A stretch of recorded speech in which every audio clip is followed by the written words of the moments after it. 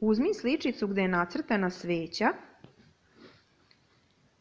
sa dve crvene linije u sredini. Stavi je na sto.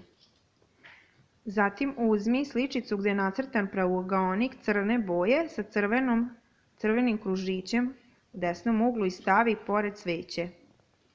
Tako. Sada uzmi talase gdje je crveni talas u sredini. Stavi ispod sveće. Zatim uzmi izlomljene linije gdje je crvena linija u sredini i stavi ispod pravougaonika. Zatim uzmi trougao i pravougaonik gdje je trougao obojen u crveno i stavi ispod talasa. Da trougao gleda gore. Zatim uzmi posljednju sličicu i stavi ispod izlomljenih linija.